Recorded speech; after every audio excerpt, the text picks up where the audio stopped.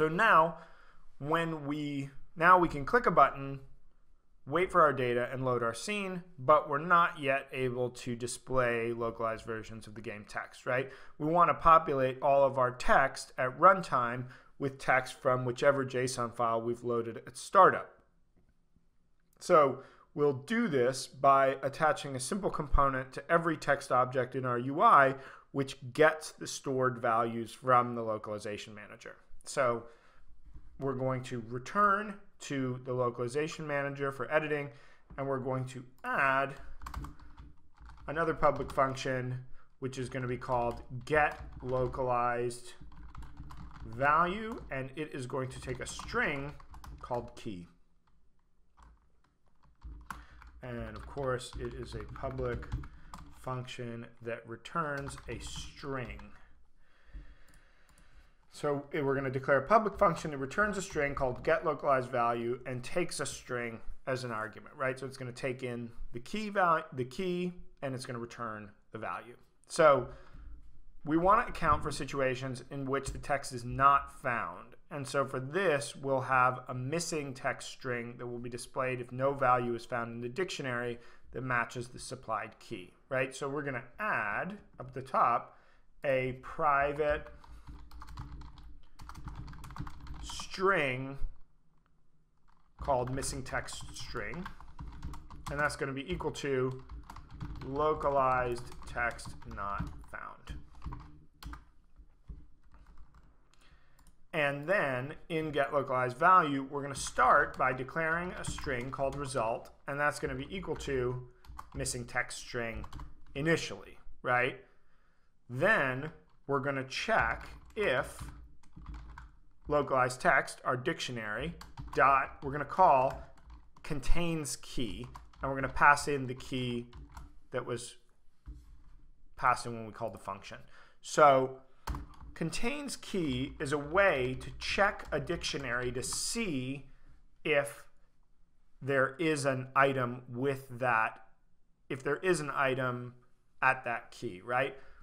And so if there is, then we're going to say result equals localized text key, right? We're actually going to retrieve the value and store it in result.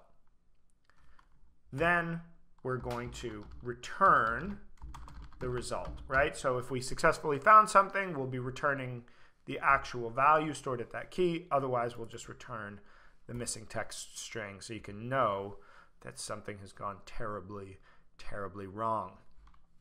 Now, we're going to save the localization manager and we need to create the component that we will attach to text objects that will actually call get localized value. So let's jump back over to Unity, right click on scripts, create, C sharp script, and this is going to be called localized text. And let's open that up.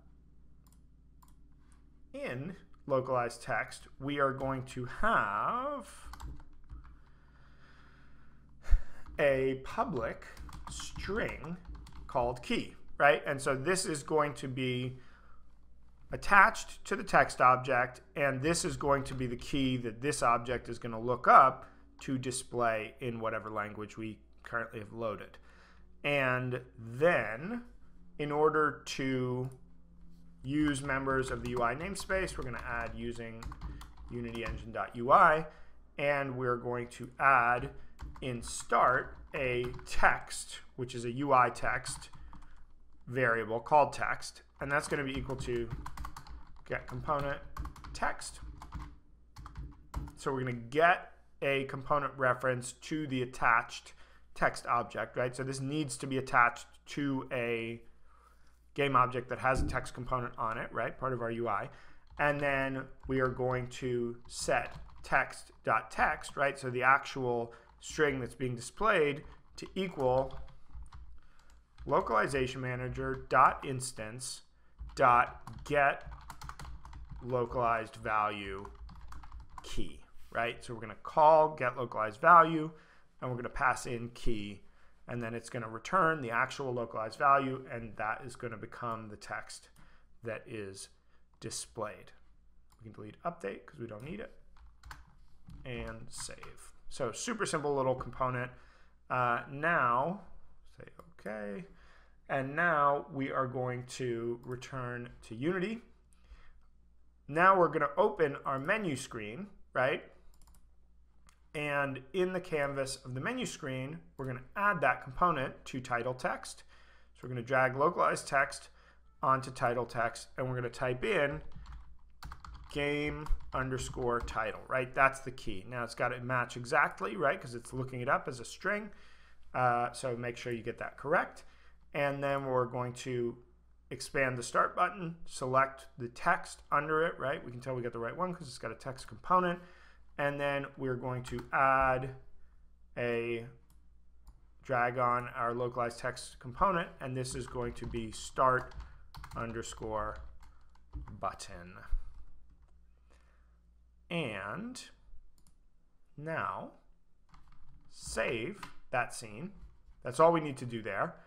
And if we return to our loading screen play we should now be able to load the German Hooray! And so it's localized the text, but notice that we have a problem here, which is that our text is getting truncated, right? Instead of Spiel beginnen, we only have Spiel, right? And so the issue there, and this is actually the reason I kind of put this in here, is because this is a common problem with localization, right? German tends to have long compound words in it. Um, I've heard, I don't speak Hungarian, but I've heard that Hungarian has like crazy long words in it. And so going from one language to another, the length of your text is going to change. If it's smaller, it's not really a problem, but if it's bigger and it overflows the button or the box, that is a real problem, right? So what we're going to do in the menu screen, let's go back to the menu screen.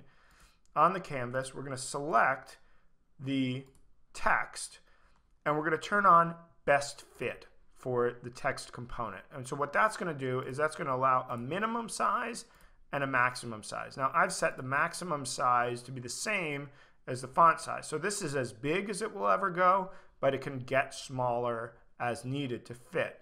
So let's save that, jump back, test again, right? Click Deutsch. Now we can see here that it's a little squished in there, right? So we need to add a little padding for that.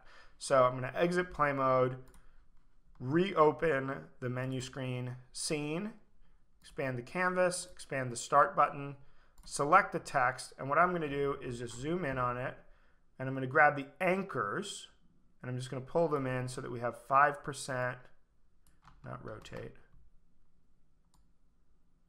5% and 5% on either side, and then I'm going to zero out the pixel offsets in the Rect Transform, right? So now we just have a slightly smaller box uh, to fit our text into, but it just leaves a little padding so it's not going to go right up to the edge. Uh, and then we will save, double click the loading screen to open it, play, Deutsch, and there we go. So now our text has been, our longer text is fitting in there and it's got a little buffer uh, on the horizontal axis so it doesn't get too squashed in there. Okay, so you know, there are many other gotchas, you know, like if you're going from Japanese to English, you're going to have really different lengths and you have, uh, you have to deal with different fonts, right? You might need, you know, you're going to need some Japanese fonts because it's a different character set. Um, and so there are many issues to consider. We're really focused just on the text data itself. Um, but I just want to show another little example of other types of things that may happen once you start swapping your text in and out dynamically. All right. Let's just save our changes to that.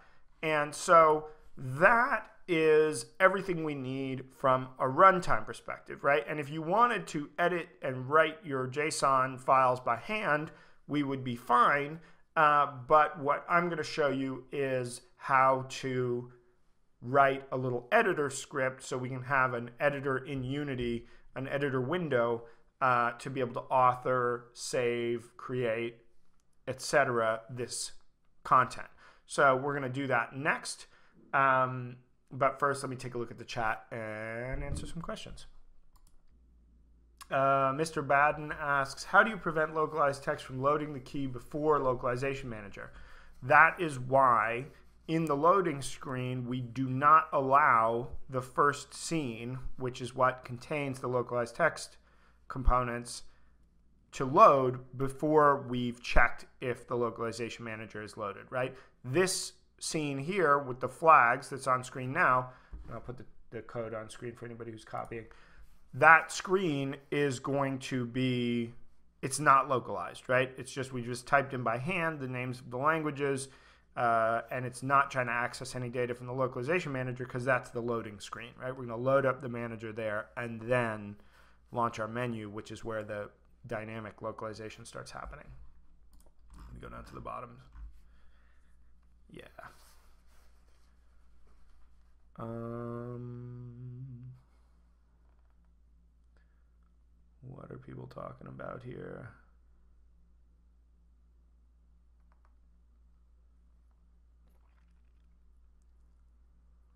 Someone suggests extending the text class and not having an additional script. Yeah, you could. It's not a bad idea.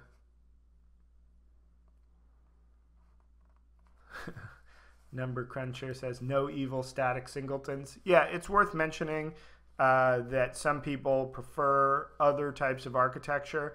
In this case, I think this is appropriate, but obviously some folks don't like it. And whatever design patterns you prefer, go for it. You know, there is really no one single way to do game development, and everybody has a preference.